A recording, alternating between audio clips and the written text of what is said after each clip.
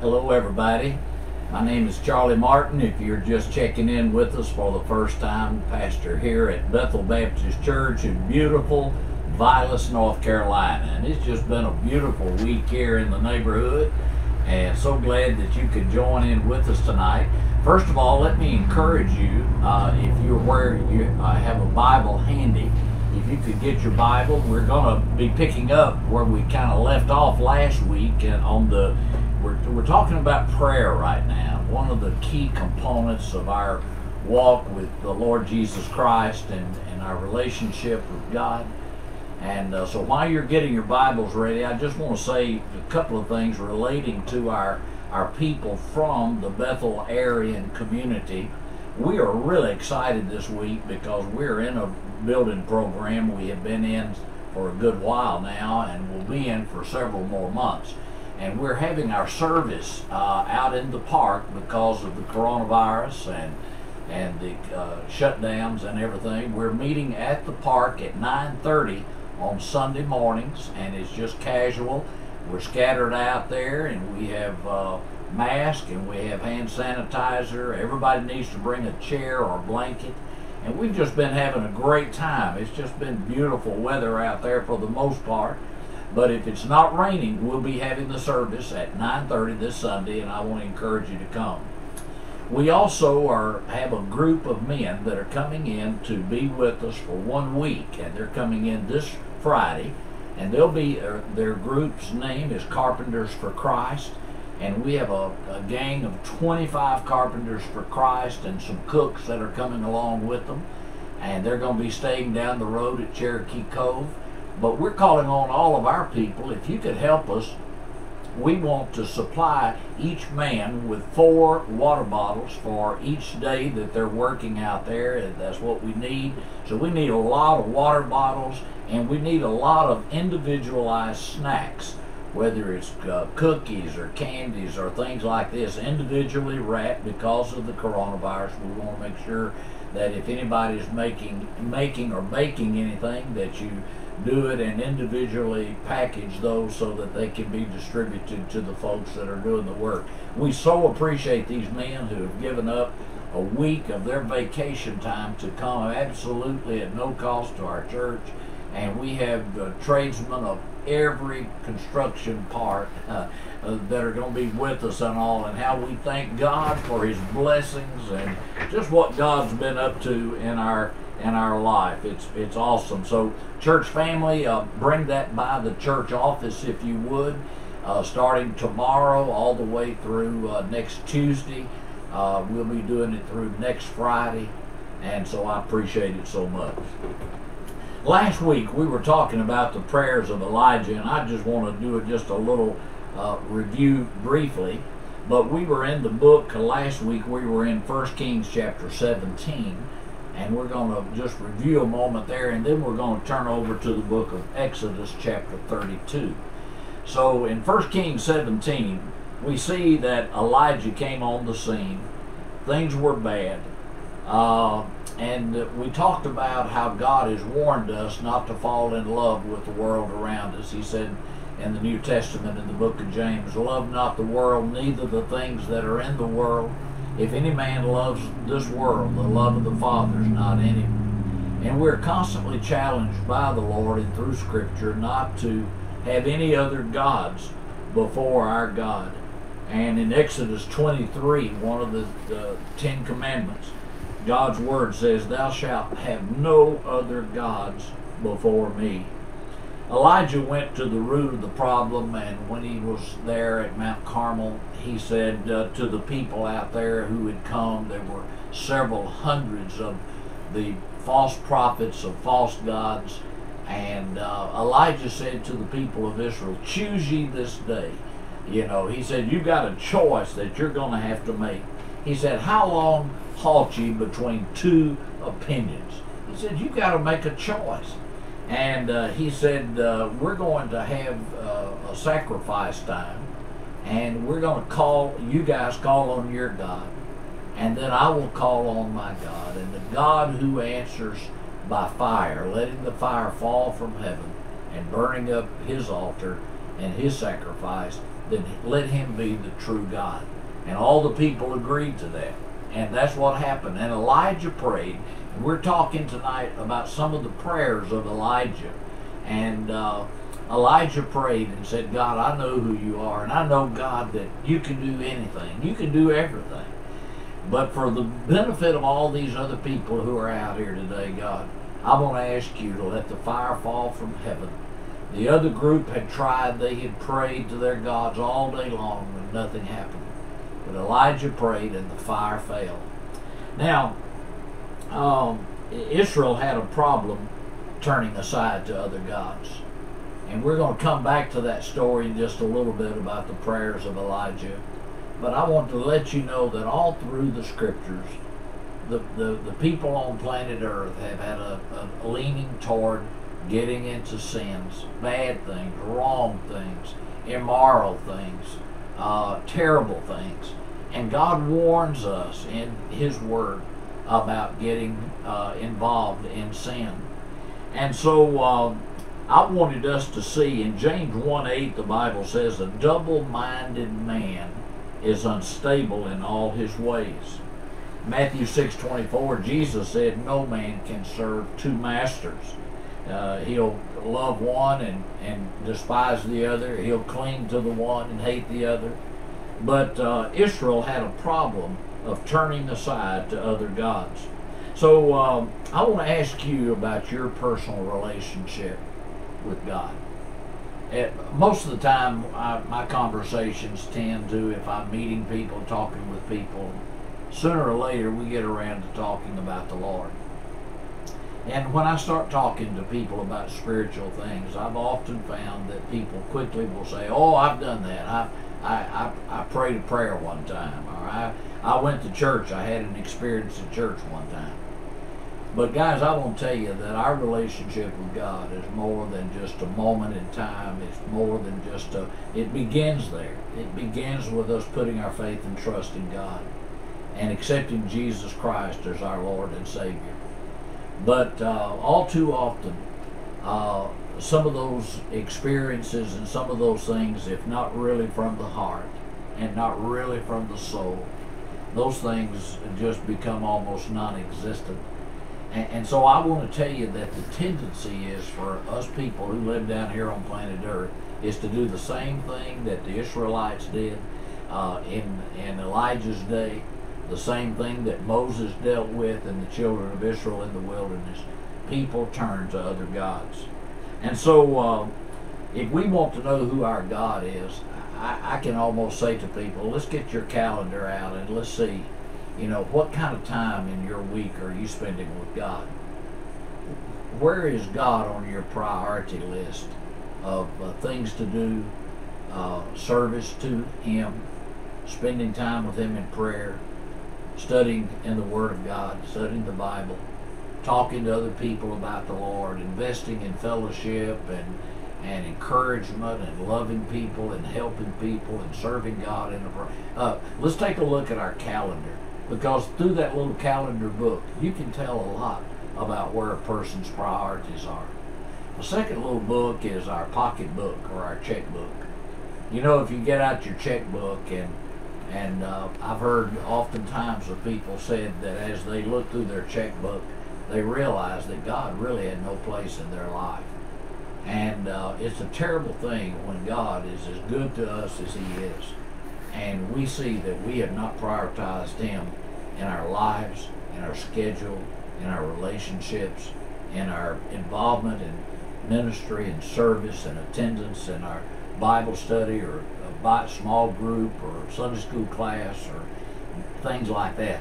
And so I want to ask you, according to that, where would God be in, in your, on your calendar? How much of your time is spent in living for God and serving God and, and, and spending time in prayer and Bible study and sharing your faith, how, how much of your income is, is spent investing in the things of God? Or is all of it spent on other things that you pick up? Well, Israel had a problem in and over in the book of Exodus. Let's turn over there, Exodus chapter 32 tonight. And uh, Moses had uh, come down out of the mountain there and he where he got the Ten Commandments, chapter 32 and down in verse 1.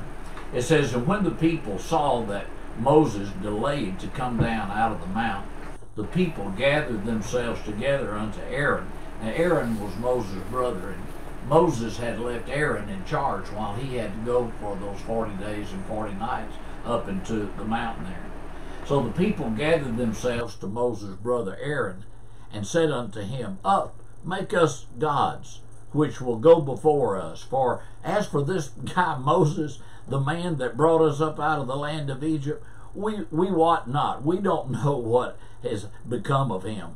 So Aaron said to the people in verse 2 Break off your golden earrings which are in the ears of your wives, of your sons, and of your daughters, and bring them unto me. So all the people broke off the golden earrings which were in their ears, and they brought them unto Aaron. And he received them at their hand. And he fashioned it with a graving tool after he had made it a molten calf. He, he, he shaped a calf out of it. And they said, These be thy gods, O Israel, which brought thee up out of the land of Egypt. And when Aaron saw it, he built an altar before it, and Aaron made a proclamation, and he said, Tomorrow is a feast to the Lord. And they rose up early on the morrow, the next day, and offered burnt offerings and brought peace offerings, and the people sat down to eat and drink, and they rose up to play. Now, the connotation of this text in the original language is that this was not a wholesome, healthy party. Uh, there was a lot of immorality going on.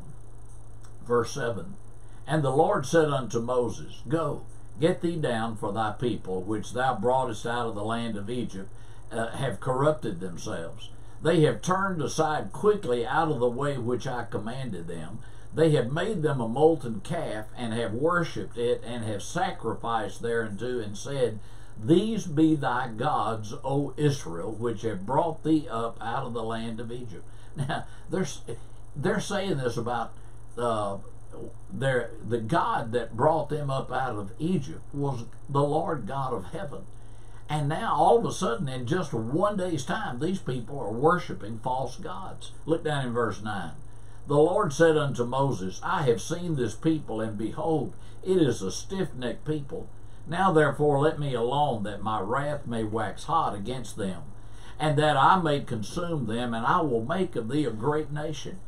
And Moses besought the Lord his God, and said, Lord, uh, why doth thy wrath wax hot against thy people, which thou hast brought forth out of the land of Egypt, with great power and with a mighty hand? Wherefore should the Egyptians speak and say, For mischief did he bring them out to slay them in the mountains, and to consume them from the face of the earth? Turn from thy fierce wrath and repent of his, this evil against thy people. Remember Abraham, Isaac, and Israel thy servants, to whom thou swearest thine own self, and saidst unto them, I will multiply your seed as the stars of heaven, and all this land that I have spoken will I give to your seed, and they shall inherit it forever. And the Lord repented of the evil which he thought to do unto his people. Now listen, you know, uh, you know when when we see the uh, in, indication of other gods, and the the Israelites there at Mount Carmel, they were looking toward other gods. Uh, they they had they had gone after false gods and false worship, and some of the gods, I just jotted down a few of these gods that I saw, the gods that they had made that came before their loyalty and their allegiance to their Father in heaven. I, I saw the God of personal pleasure, and I saw that many of the Israelites turned away from the one true God, and they were seeking out a God who would patronize them in the areas of their own personal pleasure. Uh, I, I, see also the God of entertainment.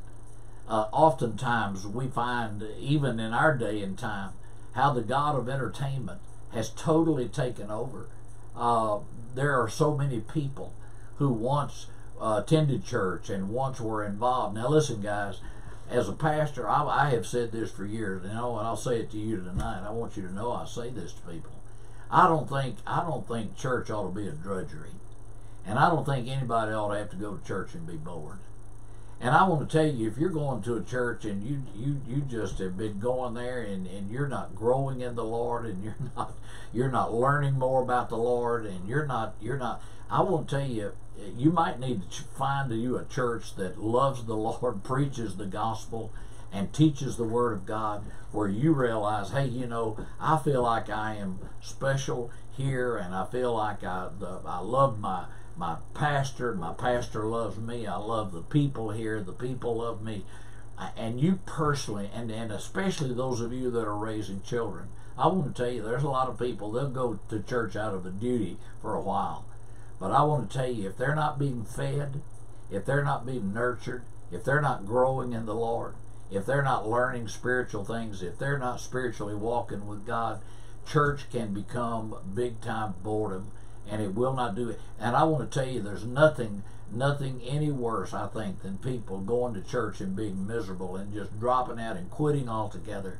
Listen, during this pandemic time, I have realized there are a lot of people that have had to pull out of church because of physical conditions, uh, age, uh, problems with aging and all. We know that the older people over 60 and older primarily are, are prime candidates for this, and we understand that. But I will tell you, there's a lot of people that have stopped going to church. There are a lot of businesses that we're going to see have closed down temporarily that will never open up again. And I am confident that there are many churches that are not going to be able to withstand what's going to be taking place. I want to encourage you today, if you know the Lord and love the Lord, your church needs you. Now, I say that to my people here at Bethel. We need you. You need we need each other. We need fellowship. We need to come together. The Bible says, "Do not forsake the assembling of yourselves together as the manner of some is." And so much the more as you see the day of the Lord getting closer. We need to be in church and we need to be there with God's people. But these people were so caught up in entertainment. Can I tell you today that every church, every pastor I know of has difficulty with people who get off on some kick, some hobby, some, uh, if it's hunting or fishing or camping or going to the races or going out, even if it's going out, some people put their family before God and they they they rob God's day and they they take it all a vacation time. They always use God's day to take their vacation time. And I always tell people, you know, God gave us seven days a week. He asked us for one day back. God gives us all a hundred percent of our income, our money. Everything belongs to the Lord. All the money in the world belongs to God. And God only asks that we give back to Him 10% in worship of Him.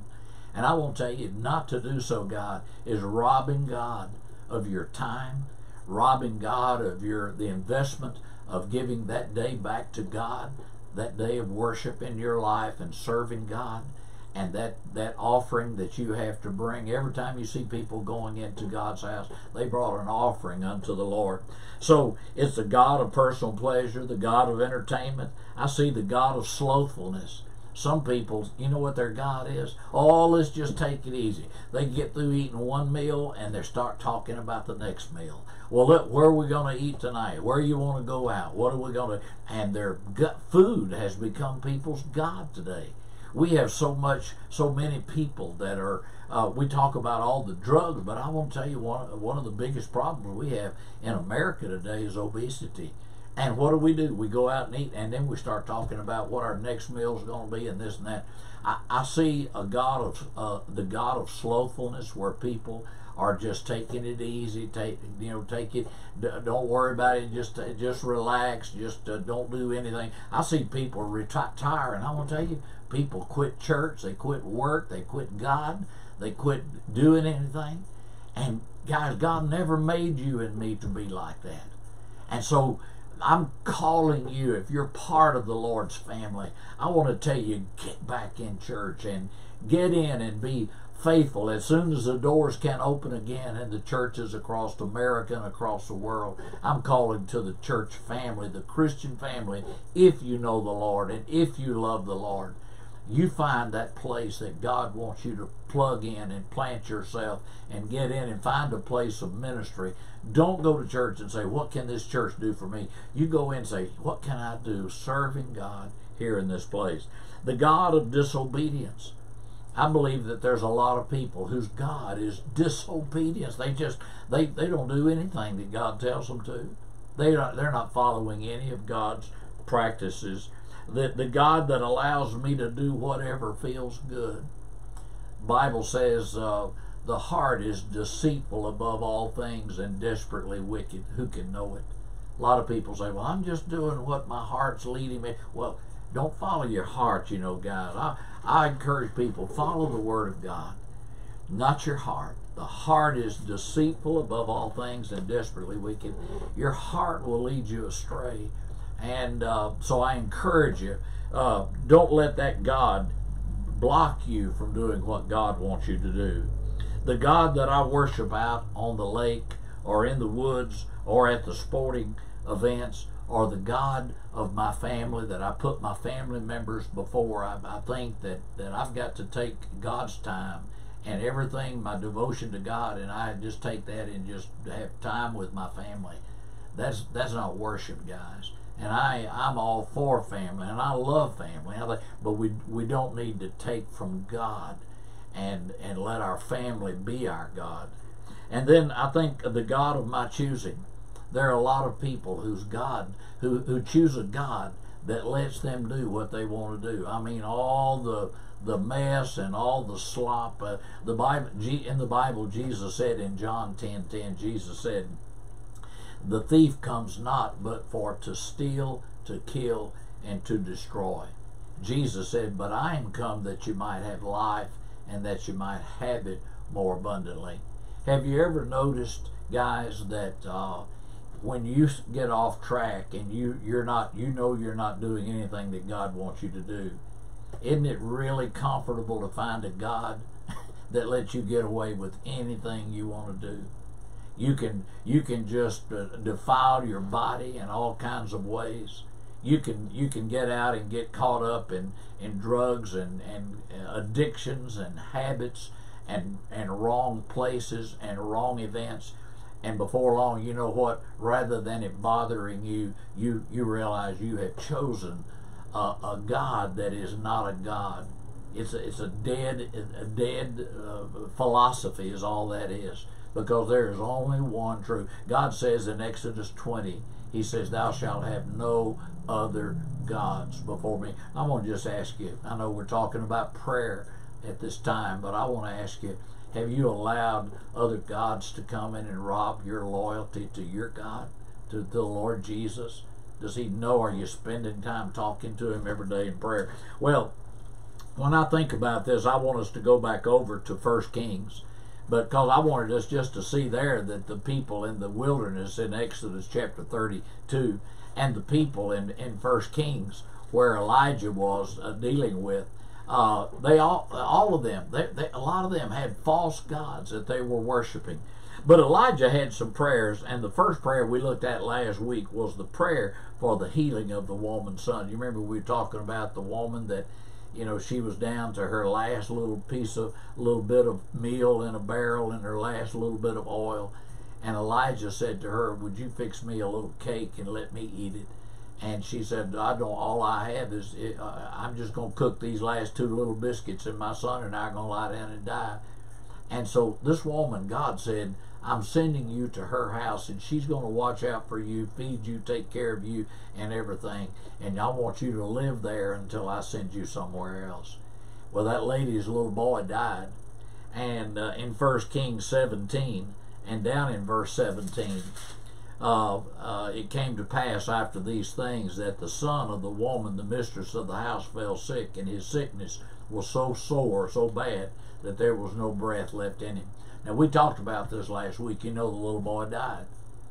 And the woman got all upset. She came to Elijah, and that those next verses there, she said, "Is this what your God does? Does He kill? He killed the children, uh, and He did it because of my past sins." And Elijah took the boy up in his arms, and he took him in there, and he prayed to God. God put the spirit of this child back in him again. And uh, uh, verse 21, he Elijah stretched himself upon the child three times and cried unto the Lord and said, O Lord my God, I pray thee, let this child's soul come into him again. And the Lord heard the voice of Elijah, he heard his prayer, and the soul of the child came back into him again, and he revived. Now listen, guys, can I tell you, is there a mama or daddy that's listening tonight? I, I won't tell you, I watched on the news the, the other day, I saw several of our little, uh, most all of them were little African American children that were being shot and killed. And I see what's taking place in our cities. Guys, can I tell you, every one of us as parents, we know how we love our children. Has something ever happened with one of your kids and you begged God, you prayed to God? I won't tell you, Elijah was in that place. Elijah prayed, and the Bible says the God of heaven heard and answered his prayer and put the spirit of life back in that little boy again. Now, I'm just saying, guys, when I'm talking about praying, we're talking about praying during all these weeks. I believe that prayer is one of the most important things in the church of Jesus Christ.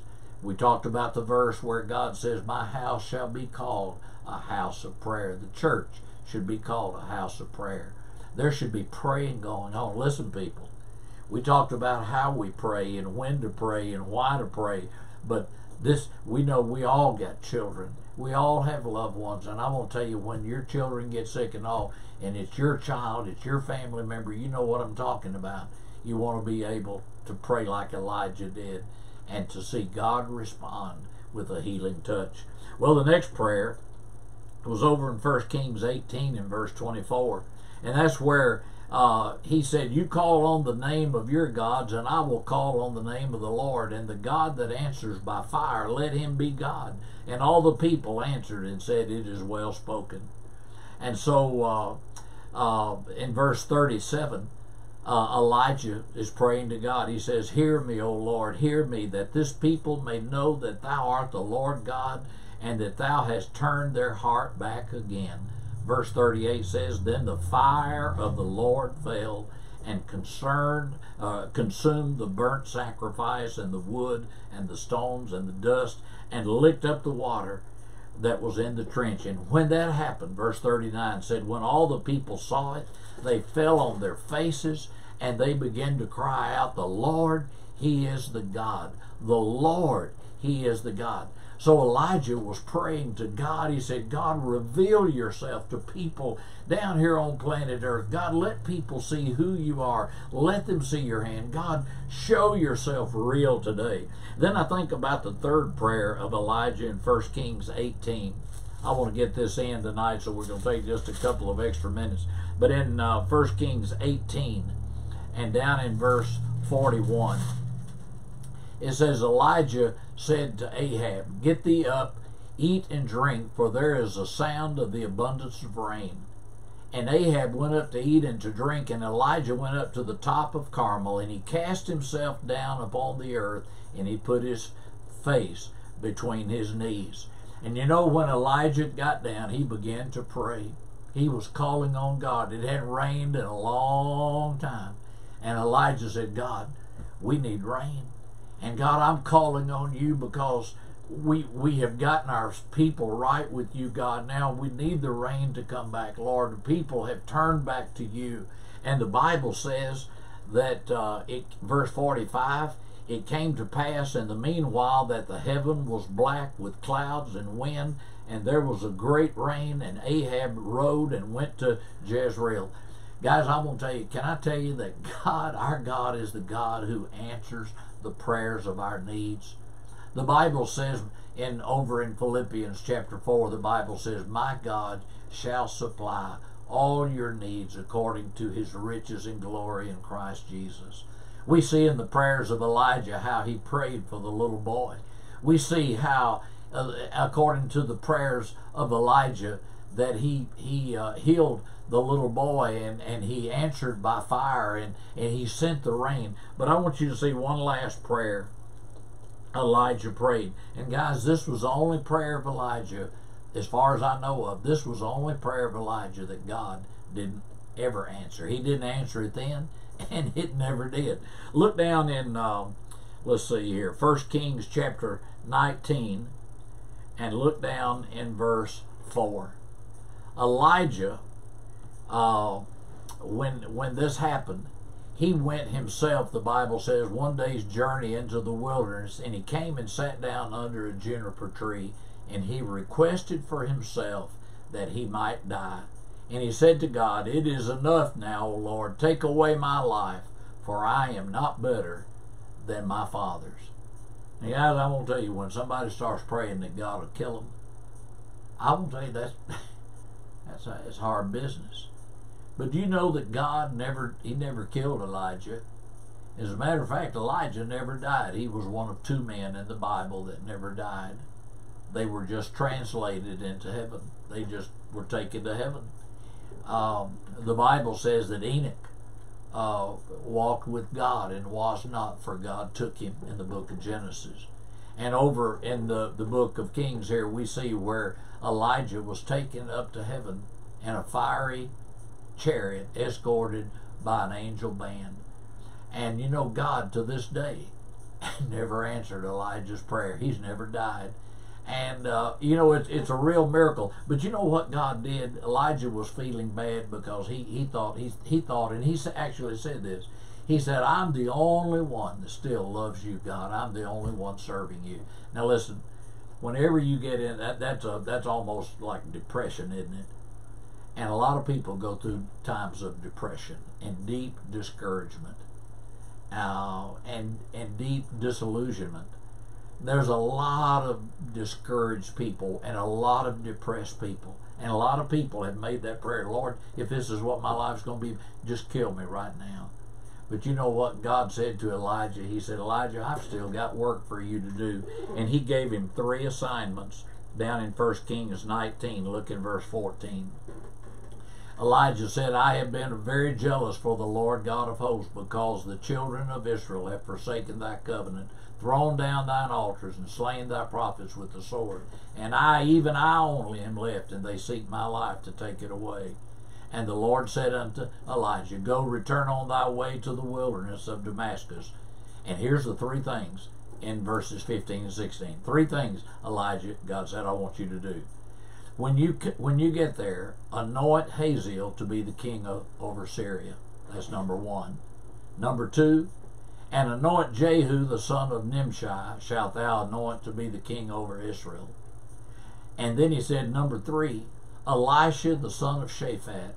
He was kind of like an apprentice or an associate pastor or associate prophet with Elijah. He said, I want you to anoint Elisha the son of Shaphat of Abel Meholah shalt thou anoint to be the prophet in thy room. He said, You're going to anoint the king of Syria, the king of Israel, and you're going to anoint Elisha. Now, guys, I won't tell you. Then God came along down in verse 18. He said, Oh, Elijah, one more thing, son. He said, I just want you to know this. Yet I have left me 7,000 in Israel, all the knees which have not bowed unto Baal and every mouth which hath not kissed him. God says, I just don't want you going around worrying, son, that thinking you're the only one that still loves me. He said, I've got 7,000 people in the land of Israel here who have never bowed the knee to Baal. They're my people. Guys, I will tell you, in times of our deepest discouragement, we can still call out to God in prayer and God hears and God answers and God understands. Remember our key verse, God's telephone number, Jeremiah 33 3. Call unto me, and I will answer thee, and show thee great and mighty things that thou knowest not. God's people, let's come together. Let's be praying. Let's call on the name of the Lord tonight. God bless you, and thank you for being with us tonight.